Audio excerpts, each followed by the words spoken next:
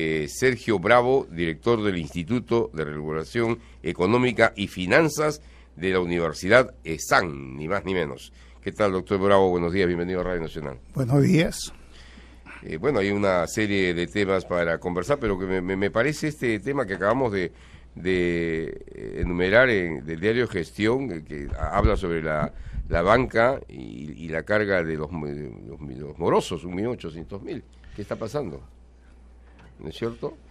Bueno, este, la banca en este momento ah, todavía mantiene índices de morosidad baja respecto a los, digamos, a cómo se controla la banca. Eh, sin embargo, eh, conforme uno va desarrollando un país y va aumentando los créditos, eh, digamos, siempre hay que tener mucho más cuidado porque finalmente se podría estar incubando un problema pero por ahora eh, todavía hay tranquilidad respecto a este tema. ¿Es manejable ese, esa, cifra tan alta de morosos? Sí, es manejable, es manejable. la morosidad no significa que sea todavía eh, calificado como un crédito, digamos, que no se pueda pagar. La morosidad significa demoras en el pago, ¿no? O sea, digamos, todavía no es un problema eh, crítico. Cuando ya empieza a entrar al problema de no pago, entonces se convierte en un problema digamos, más serio, ¿no? Eh, ¿Qué significa para usted, quisiera que nos haga un análisis, porque para esto lo hemos invitado, el octavo Foro Económico Mundial que se desarrolla a partir de hoy en nuestro país? Yo creo que es algo importante eh, haber, digamos, sido sede o ser sede del Foro Económico Mundial para América Latina, el octavo, donde hay presencia de más de 700 participantes, mandatarios, pero sobre todo por los temas, ¿no? Se van a tocar temas de innovación social, de competitividad, de innovación, de desarrollo sostenible, de recursos naturales, de energía y minería, con lo cual, digamos, eh, muestra una preocupación grande de lo que en esa es son factores ausentes dentro de lo que es el desarrollo económico de nuestro país y también de América Latina. Bien, este, Lucho. Sí. Eh, es, es interesante eh, la, gran cantidad de personalidades que tenemos participando en este, en este foro. ¿Cuál es la ventaja para el Perú no solamente de ser la sede, sino también de lo que puede quedar para nuestro país producto de las decisiones, de las determinaciones que se tomen en este evento? Yo creo que es importante para nuestro país y para América Latina en su conjunto, que son los que eh, están asistiendo a este evento, ¿no?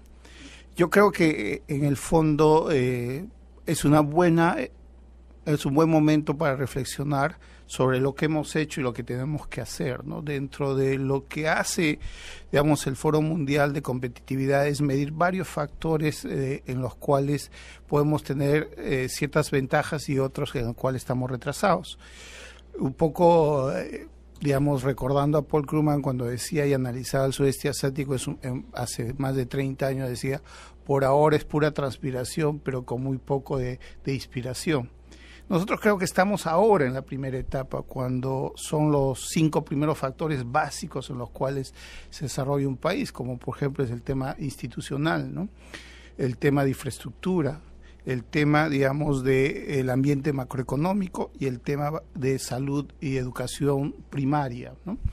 Bueno, en el tema institucional, eh, en la década de los 90 empezamos una gran reforma en términos de, por ejemplo, este, liberar la economía, en términos de eh, estructura, por ejemplo, del sector energía, ordenarlo, definir que los ministerios son más entes regulatorios que entes ejecutores, trasladar la responsabilidad a través de procesos de privatización a, digamos al sector privado la responsabilidad de conducir eh, eh, las empresas que llevan adelante el tema digamos este productivo y de ahí pasamos a una época, en, digamos, en el gobierno de Toledo, eh, de gran desarrollo de infraestructura a través de concesiones. Tenemos la interoceánica norte, la interoceánica sur, el muelle, digamos, este, eh, el muelle sur, que fue el primero adjudicado en ese momento, las Bambas, tenemos Bayogar, todo un proceso grande que se empezó, eh, digamos, a, empezó a madurar en ese momento y fueron más de 80 proyectos de envergadura que, se colocó. Y luego ya, digamos, estamos decayendo en los índices a partir de lo que es el tema de salud, que por ahora esa gran reforma no se ha desarrollado y tampoco el tema de educación.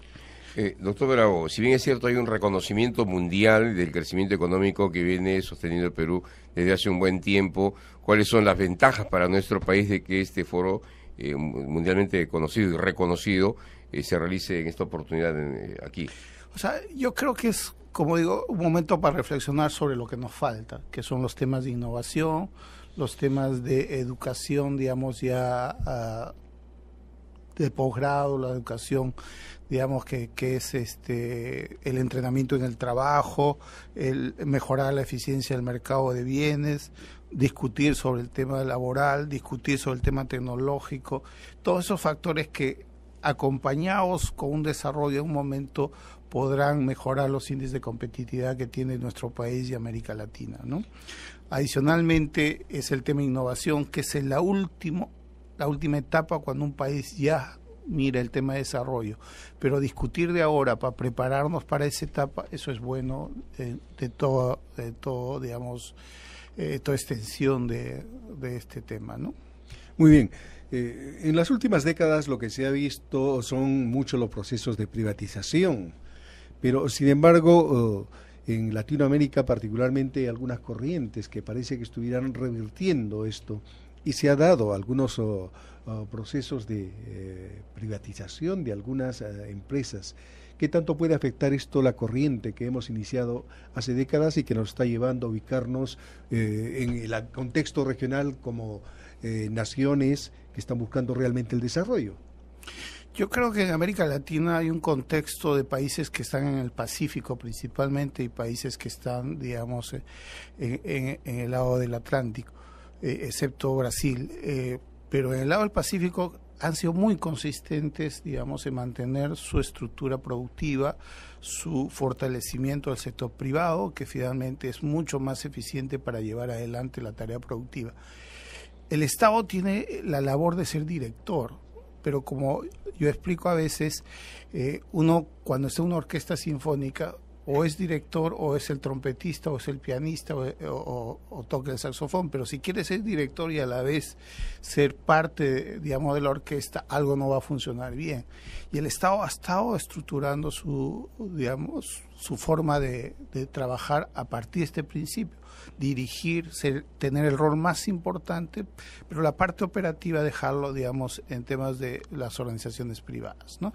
Eh, digamos, hay otros movimientos a nivel de, digamos, de América Latina que rescatan otra visión de, país, respetable por cierto, pero este, los índices de competitividad muestran que los del Pacífico están mejor, Colombia, Chile, Perú, y México ahora que está haciendo reformas muy importantes, eh, muestran un índice mucho más avanzado que los otros países. ¿no? es el mejor camino ese entonces, el de retornar a las este, expropiaciones y, en fin, esa política eh, de los setentas?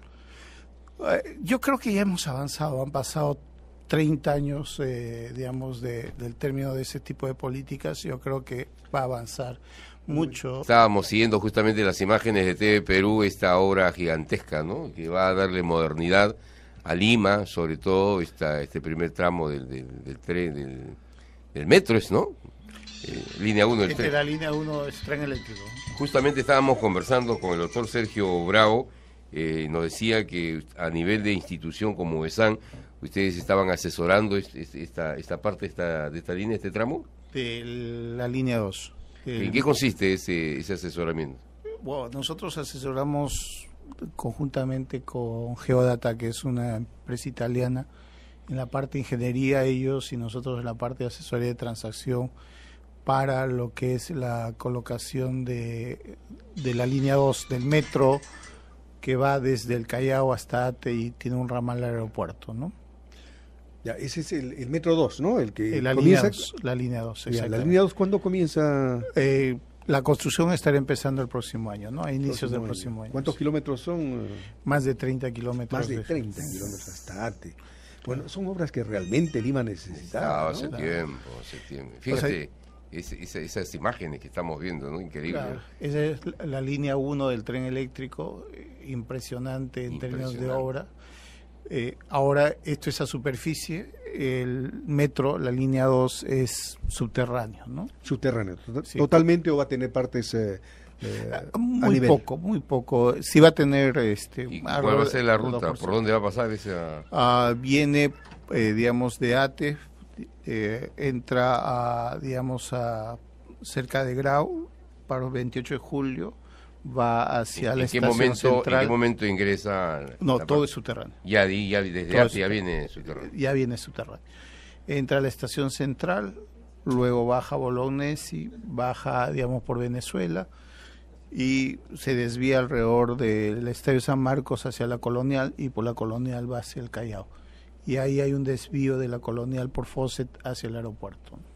Todo eh, en subterráneo. Sí, realmente, pues e, este sistema de transporte moderno es lo que actualmente se está utilizando en las grandes capitales del mundo, ¿no? Desde que se inició hace más de un siglo en, Londres. Exacto. Y eh, increíblemente nuestro país recién está ingresando. Recién estamos pues. ingresando. Bueno, ha sido la línea 1 lo que inició, luego ahora el metro y se vienen tres líneas más que el, gobierno va a convocar. Y la que pasa por detrás del río Rímac por subterráneos es también parte de este... Línea María. La, ah, línea, la línea María es, una obra, digamos, que va hacia el aeropuerto. Eso es, eh, y la nueva vía del sur, que es un eje de, digamos, el más grande que ha hecho la municipalidad, que es Panamericana Norte, Panamericana Sur, y una nueva vía expresa hacia Chosica. ¿no? Sí, pues que va a cruzar Barranco. Buenas, buenas primicias, eh, doctor Bravo, ¿no?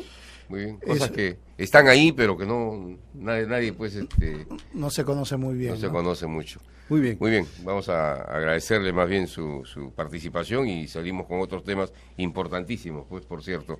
Doctor Bravo, muchísimas gracias, Sergio Bravo.